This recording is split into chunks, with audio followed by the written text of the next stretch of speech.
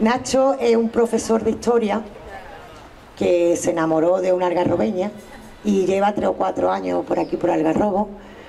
Lo hemos adoptado, ya lo hemos hecho algarrobeños, como muchos de aquí, que no soy de Algarrobo Costa, pero como tenemos el corazón que tenemos, los de Algarrobo Costa, los de Mesquetilla, los de Trayamá y los de Algarrobo Pueblo, adoptamos a todo visitante que se quiere plantar aquí. Con que, Nacho, háblanos de ese tesoro que tenemos por ahí escondido, de ese turismo con cultura mezclada con playa y la palabra es tuya.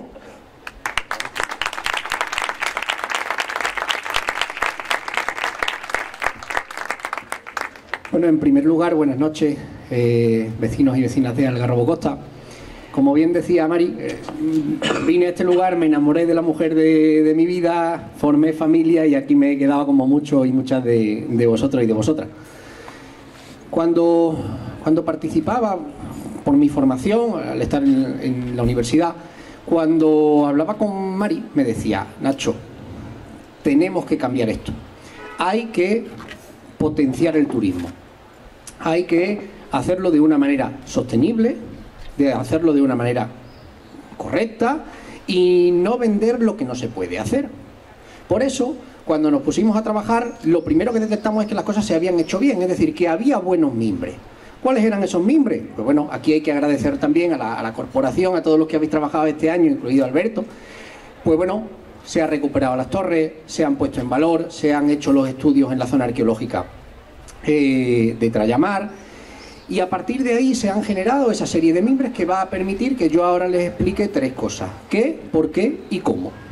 ¿Qué es lo que vamos a hacer? En primer lugar, se trata de potenciar el turismo cultural y el turismo gastronómico. El turismo gastronómico es una cosa que ya tenemos muy asentada. ¿Por qué? Pues porque cualquiera que se pasee por aquí o que se vaya paseando desde febrero sabe que los bares están llenos todos los fines de semana y cuando llegue el turismo de verano muchísimo más, pero nos falta una cosa, que es que la gente se quede. La gente viene, come, pero hay que hacer ese atractivo para que la gente termine de, quedarse, para que sigan aquí. ¿Por qué es importante esto? Pues bueno, eh, vamos a ceñirnos a los datos. Eh, el año pasado casi 28.000 turistas visitaron Algarrobo. Casi 28.000 turistas. ¿Sabéis cuántas personas están censadas a día de hoy? 6.625. Fíjense los datos y la diferencia. Tenemos una potencia turística que hay que desarrollar y que hay que explotar por dos motivos fundamentalmente. ¿Por qué? Primero, porque tenemos una gastronomía y una pesca que hay que cuidarla. A los pescadores hay que cuidarlos y eso tiene que llegar a la mesa. Sin ellos no podemos hacer que esta tierra crezca y que prospere. Y por el otro lado están los agricultores.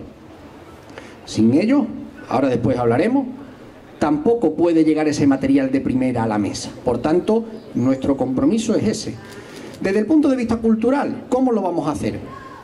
Primer paso, vamos a crear la sala arqueológica que explique qué es esta tierra, porque aquí hay un potencial histórico fenicio que no se le está sacando rendimiento. Muchísimos lugares de la, de la asarquía con mucha menos historia que nosotros venden más. Esto no puede ser. Tenemos el, digamos, el enclave fenicio más importante a nivel internacional que aparece en todos los libros de historia de, historia fenicia, de arqueología que ustedes cojan. El ayuntamiento lo puso en valor y es el medallón que tenéis que aparece encima de Ayuntamiento de Algarrobo. Ese medallón es único y eso no se vende. No estamos explotando eso y eso es lo que venimos a hacer. Además de esa sala arqueológica, vienen una serie de rutas que van a unir el pueblo y la costa, o la costa y el pueblo, mírenlo como quieran. Por un lado, se va a poner en valor esa ruta y una de las paradas fundamentales va a ser la tumba de Trayamar, o la tumba, digamos, eh, el enclave de tumba de Trayamar, que es lo que hay ahí, y vamos a llegar al pueblo, y este era uno de los compromisos con una de las asociaciones, y es potenciar esa ruta de bandolero y potenciar en el pueblo esa parte del bandolerismo. Por tanto, esas son, grosso modo, las grandes, digamos, grandes proyectos que están hechos. Pero también, Mari, no hay que olvidar una cosa. Y, se ha quedado una espinita clavada con el tema de playas. Aquí hay que mejorar esas entradas para las personas mayores. Aquí hay que mejorar esas entradas. Y es verdad que es duro porque se llama a la puerta de la administración. Esto no depende a veces no depende de toda de una administración que sea la local. La gente piensa que sí, pero eh, tenemos ese error y eso hay que arreglarlo. Eso hay que arreglarlo porque el turismo que tenemos es un turismo familiar. No tenemos un turismo de borrachera, no tenemos un turismo eh, de grandes, de macrofestivales, no, tenemos un turismo familiar, tenemos un turismo que se deja mucho dinero y tenemos un turismo tranquilo y eso es lo que hay que potenciar.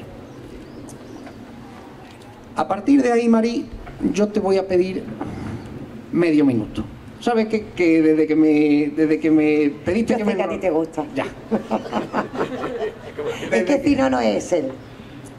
Yo desde que me pediste que me enrolara, eh, lo bueno y lo que me gusta de, ti, de los compañeros y de las compañeras del partido, es que uno puede hablar con total sinceridad y decir lo que piensa. Y a tenor de lo que estamos viendo en la campaña, pues hay ciertas cosas que hay que decirlas. Uno las piensa y ahora hay que decirlas. Eh, en primer lugar, mm, se está llevando a cabo una campaña de desprestigio contra los trabajadores del ayuntamiento. ¿Esto qué es? ¿Qué es eso de meterse el resto de formaciones políticas con trabajadores del ayuntamiento y desprestigiar su, lava- su labor, su trabajo o su día a día? Pero tenemos más. La última fue ayer. Sí. La última fue ayer a unos metros aquí, eh, bueno, en, en la otra punta, donde se dijo que la policía, pues que hacía mal su trabajo. ¿Cómo aspira uno a gobernar metiéndose con los cuerpos y fuerzas de seguridad del Estado? ¿De verdad? ¿Ese es el nivel? Y se decía de ellos que, que, no multaban, que multaban muy poco. Claro, eso pasa porque no se miran las cifras. Cuando uno mira las cifras, ve que eh, tiempo atrás, en tiempo del PP, pues bueno, en 2011 tenían 150, 145 multas. 2008, Partido Socialista, más de 500. ¿Qué es eso, señora Natacha? De decir que no multan y de poner en duda el, tra- el trabajo y la labor de la policía sin esos datos. Eso no está bien. Yo entiendo que, que vengan algunas a vivir de la política. Todo eso no lo hace. Amén. Es- eso es lo que tenemos. Yo entiendo que vengan a hacer eso. Pero lo que no se puede hacer es meterse con trabajadores del ayuntamiento cuando han arruinado el ayuntamiento y cuando dejaron el ayuntamiento hecho unos zorros. Que eso hay que contarlo también. Cuando estaban gobernando más de 3 millones de euros de deuda. Cuando lo asume este ayuntamiento, casi esos 3 millones, 2 millones 900 largos, tenía el ayuntamiento en ruina. Lo pagasteis vosotras y lo pagasteis vosotros. Y de eso ni mu. No se dice absolutamente nada. Y resulta de que lo coge esta mujer, coge el toro por los cuernos y deja la deuda en 686.000 euros cerrada el año pasado. Ojo, con el crecimiento que ha tenido Algarrobo. Por primera vez, nunca ha habido tantas personas en Algarrobo viviendo, 6.625. La deuda ha disminuido, el paro, ahí lo has hecho bien, ahí lo has hecho bien, eso sí es verdad. Pasa de un 24% de paro y lo deja, según los últimos datos, en un 14 largo, 15 corto de, de paro. Y eso significa, básicamente, para que todos nos entendamos, que cuatro de cada una persona con Natacha estaba en paro. Cuatro, una de cada cuatro estaba en paro. Y con María José, uno de cada diez. Yo creo que la diferencia es abismal. Pero estos días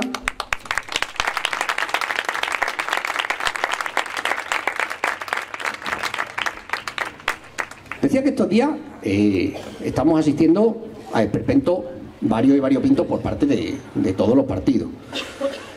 No sé si les suena, eh, yo entiendo que sí, los aparcamientos de Casa Balate. Que yo sepa, yo llevo bajando todos estos años atrás y yo siempre he aparcado ahí. Y ahora resulta que es una medida nueva y novedosa del Partido Popular. Ellos ahora van a poner aparcamiento, pero si llevamos cuatro años aparcando ahí, al menos desde que yo estoy aquí, que estamos hablando. ¿Qué es eso de nuevo? ¿Cuáles son las propuestas? ¿Cuáles son las medidas? Y cuando uno escarba, se da cuenta de que no tienen, de que no hay proyectos detrás, de que el único partido que mezcla o que tiene experiencia de gobierno, capacidad de gestión y conocimiento de la administración es el partido que lidera eh, María José. Somos el Partido Socialista Obrero de Algarrobo. Esos son los únicos que mezclan experiencia, gestión y conocimiento de la administración. me va a hacer que te interrumpa un poquillo, porque hablando de lo de la deuda me he acordado una anécdota. Cuando empezamos a reformar el ayuntamiento, Alberto, hubo un vecino que me dijo que íbamos a transformar todo el ayuntamiento. Y yo con mi ocurrencia, mi disparate que me se ocurran algunas veces, eso Francis tirará de la hemeroteca a ver si es verdad lo que estoy diciendo. Ese 15, creo que fue un 15 de junio, ¿no? Cuando tomamos posesión por primera vez. Pues hubo una señora que nos dijo que en el ayuntamiento había 200.000 euros. Cuando llegamos los socialistas, buscamos las cuentas y no había 200.000 euros. Entonces, ahora en forma graciosa, ¿no? Pensamos que lo mismo estaba debajo de las locetas. Y por eso hemos transformado todo el ayuntamiento. Pero es que estamos llegando al final, y corrígeme, sí, porque quiero que ya levantar suelo de abajo, ¿no? Y los 200.000 euros no apareció por ningún lado. No sé dónde estarán. Pero seguimos buscando, a ver si lo encontramos.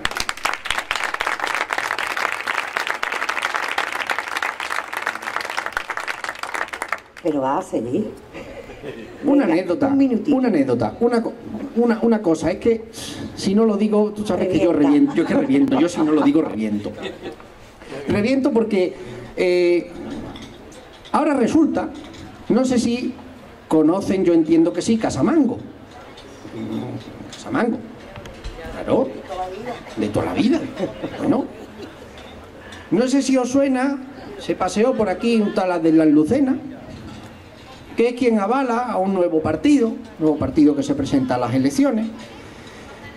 Y hubo un pleito por esa casa, por el cual los algarrobeños y algarrobeñas pagasteis más de un millón de euros. Por ese pleito. Y ese pleito, la parte demandante era este señor, y quien estaba gobernando en ese momento era la señora Natacha.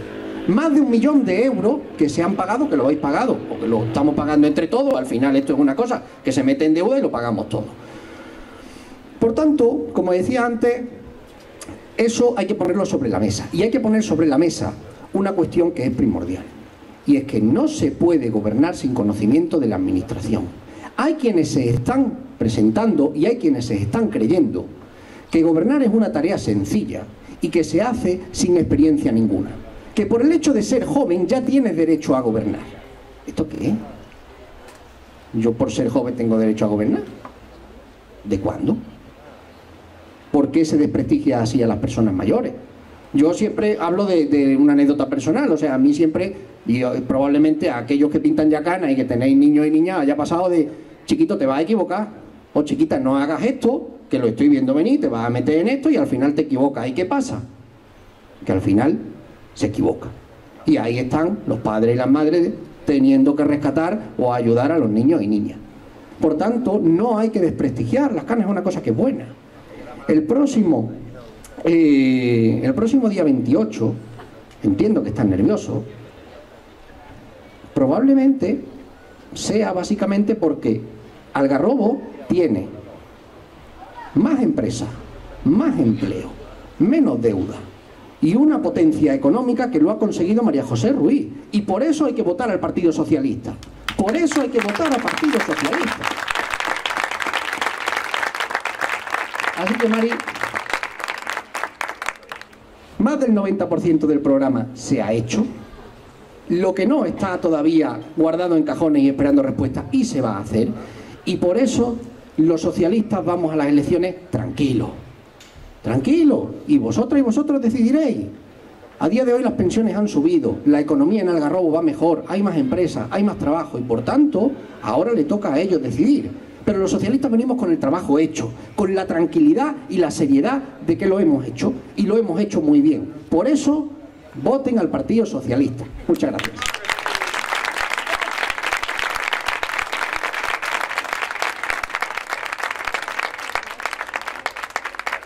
Bueno, pues llega el momento de presentar a nuestro anfitrión.